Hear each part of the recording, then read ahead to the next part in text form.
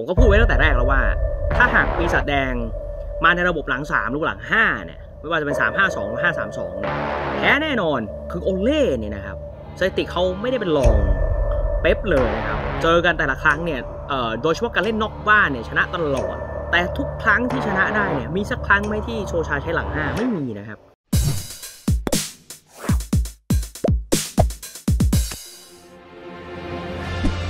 สนับสนุนคลิป Exclusive โดย Amado We Live for Your Health โรงเรียนไบลิงกัว หลักสูตร International ที่ดีที่สุดในประเทศไทย สาธิตแห่งมหาวิทยาลัยลังสิต SBS อะสวัสดีครับคุณผู้ชมครับ มาลุยกันต่อใน YouTube นะฮะ หลังจากศึกดาร์บี้แมตที่ โอ้โห มันแพ้ง่ายเหลือเกินนะครับแมนเชสเตอร์ดาร์บี้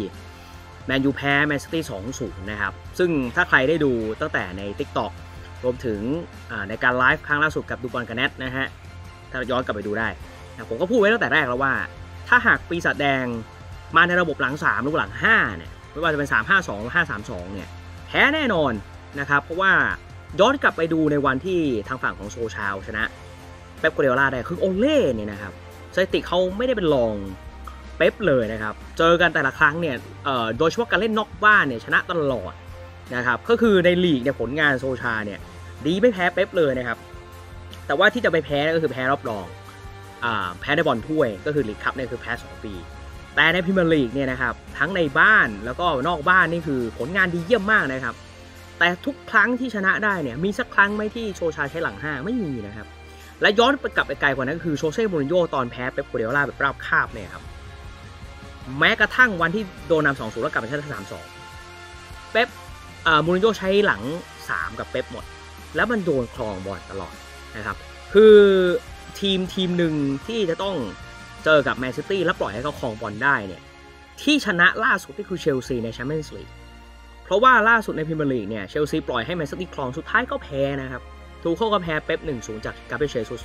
เพราะฉะนั้นเมื่อวานเนี่ยคือมันออกลบปุ๊บเนี่ยมันก็แพ้เลยนะครับเพราะว่า ด้วยความที่เอาโอเคสองนัด แก้ไขมาใช้หลัง 3 ทั้งเกมกับสเปอร์แล้วก็อตาลันตาแล้วมันประสบความสำเร็จในระดับหนึ่งถูกไหมฮะทีนี้เรามาดูเรื่องตัวผู้เล่นนะครับ คือสื่ออังกฤษเนี่ยวิจารณ์ว่าการเข็นลินเดเลฟลงสนามเนี่ยก็ไม่ได้ต่างอะไรจากการที่เคยทำแม็กควายกับเลสเตอร์ คือตอนนั้นเนี่ยแม็กควายอาจจะต้องพักอีกอย่างน้อย7-10 วันนะครับซึ่งโซลชาก็เข็นลงคงจะคุยนักเตะ ซึ่งลินเดเลฟก็ไม่แน่ใจว่าความฟิตขนาดไหน โอเค เราอาจจะไม่ไม่ได้พูดถึงตรงนั้นเพราะว่าเเขาก็ไม่ได้แสดงออกอาการขนาดนั้นไม่เหมือนแม็กควายในเกมที่เจอกับเลสเตอร์ที่แบบโอ้โหมันผิดพลาดเยอะมากใช่ไหมครับ อย่างไรก็ตามครับสิ่งที่ฟันธงไปได้เลยก็คือลินเดเลฟไม่เหมาะ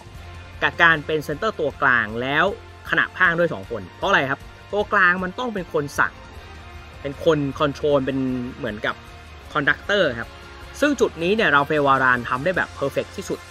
แต่ลินเดเลฟเห็นไหมฮะจังหวะเช็คล้ำหน้าของแมนยูไนเต็ดข้างหลังนี่คือเละเทะมาก เขาไม่มีความมั่นใจขนาดสั่งการขนาดนั้น ซึ่งแม็กควายเอง เขาต้องไม่ได้ตรงนั้นอยู่แล้วเพราะเขาถนัด ตอนเล่นทีมชาติอะเซนเตอร์ตัวกลางก็ไม่ใช่เขานะครับเขาไปเล่นเซนเตอร์ฝั่งซ้าย เพราะฉะนั้นเกมรับของปีศาจแดงนี่มันมึนงงมากเลยครับ ซึ่งมันก็ไม่น่าแปลกใจอยู่แล้ว ทั้งเกมรุกเกมรับมันมันมันมันมันมันมึนไปหมดอะเพราะว่าธรรมชาติไม่ได้เล่นหลังสามมาก่อน ไอ้เกมสเปอร์เนี่ยพูดไปรู้กี่ครั้งแล้วว่า ที่ชนะได้เนี่ยเป็นเพราะว่าสเปอร์มันเสียบอลแดนกลางแล้วมันหมู เราก็เลยฉกบอลไปได้นะครับ แต่ว่าสิ่งที่น่าผิดหวังของผมในมุมผมก็คือ มันมีจากช็อตที่เราโดนนำหนึ่งศูนย์เสร็จแล้ว เดเคอา เซฟถึง 5-6 ครั้ง ให้มันยังอยู่ในเกมอยู่ ณ นาทีนั้นผมเคย ผมจำได้ว่าผมมองเวลาเป็นนาที 31 คือมันถ้ามันไม่เปลี่ยนอะไรเนี่ย มันโดน 2-0 แน่นอน นะครับ ถ้ากำลังจะตกกำลังจะตกเก้าอี้อยู่แล้วเนี่ย มันจะต้องแบบกล้าทำอะไร คือถ้าโซชากล้าเปลี่ยนระบบกลางคันในนาที 30 นะฮะ ที่แบบมันมันคือมันจะต้องโดนอยู่แล้วอะถ้าคุณไม่เปลี่ยนอะไรอะถ้านาทีนั้นกลับเปลี่ยนลำนะกลับลำกลับมาใช้หลังสี่นะโอ้โหมันจะแสดงให้เห็นถึงวิสัยทัศน์ที่ดีมากๆแต่ไม่กล้าเปลี่ยนนะด้วยความสไตล์เป็นคนคิดช้าทำช้าอยู่แล้ว ใจเย็นๆค่อยๆทำก็ไปโดนลูกที่ 2 ก่อน แล้วครึ่งหลังก็ค่อยมาเปลี่ยนเป็นเล่นหลัง4ซึ่งมันไม่ทันแล้วนะครับ เป๊ปก็ถอยแล้ว เล่นเหนียวแน่นแล้วนะครับ แล้วกองกลางมันนอกนั้นคือตัวผู้เล่นมันไม่ได้มีปัญหา ปัญหามันอยู่ที่แผนการเล่นเนี่ยแหละ ที่มันรอดมาจากเกมที่เจอกับสเปอร์และอตาลันตาเนี่ยวันนั้นแมนยูก็เล่นไม่ดีแต่เอาตัวรอดได้จากการใช้ความสามารถเฉพาะตัวของโรนัลโด้นะครับเพราะฉะนั้นเนี่ยไม่ไม่แปลกที่มันขึ้นเกมไม่ได้ มันไม่ได้เล่นกันมานานไอ้หลังแบบนี้นะครับซึ่งปีศาจแดงมันต้องใช้เวลานานมากมันไม่เหมือนสเปอร์ที่เจอ แค่วิเทสซานเน่มันทำได้ข้ามคืนกับคอนเต้นะครับซึ่งรอยคีนแกรี่เนวิลล์ ริโอเฟอร์ดินานด์พูดว่าอย่างไรก็ย้อนกลับไปดูได้ใน TikTok อ่าให้น้องไบร์ขึ้นมาTikTok ตอนนี้ก็ทะลุแสนเป็นที่เรียบร้อยแล้วนะครับ ช่องผมป๊อป วีระพลแล้วก็มีช่องหนึ่งที่อาจจะเป็นสิ่งทำชโลมจิตใจของแฟนบอลปีศาจแดงได้ก็คือช่อง MUTV ทาง TikTok นะครับ มันก็จะมีแมตช์คลาสสิกเก่าๆ ถ้าเรายังเลิกเชียร์ไม่ได้ แล้วก็คงจะต้องให้กำลังใจกันต่อไปก็ไปดูกันได้ใน 2 ช่องของเราตรงนี้นะครับ ทีนี้ครับทางฝั่งของกุนซือคนต่อไปที่คือคำสัมภาษณ์ล่าสุดโอเล่ยังไม่ลาออกนะครับคงต้องไล่จริงๆแล้วล่ะครับเพราะว่าเขาเขาดูยังไม่ลาออกเองนะครับทีนี้กุนซือของเราไปถือว่าลำบากขึ้นเยอะเลยนะครับด้วยการที่คอนเต้ไปคุมสเปอร์แล้วนะครับแล้วคนที่ว่างงานอยู่เนี่ยเท่าที่ผมเมื่อวานผมไลฟ์ใน Facebook ไปเนี่ยมันก็จะมีรายชื่ออย่างเอริกเทนฮาร์กซึ่งตัวผมเองบอกแล้วว่า ไม่ไว้ใจ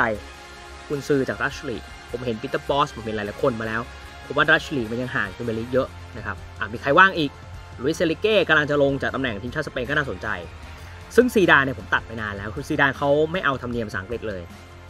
ไม่เอาธรรมเนียมฟุตบอลอังกฤษด้วยนะครับและก็อยากจะไปคุมฝรั่งเศสอย่างเดียวเพราะฉะนั้นตัดซีดานไปได้เลยเหลือเทนฮากเหลือเอ็นริเก้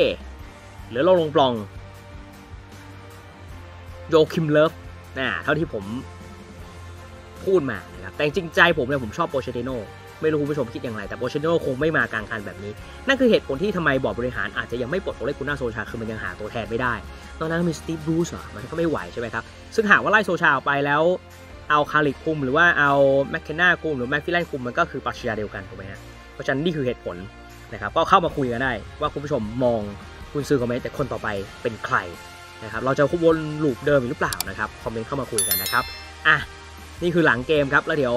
ไปดูกันได้ต่อใน TikTok ทั้ง 2 ช่องครับ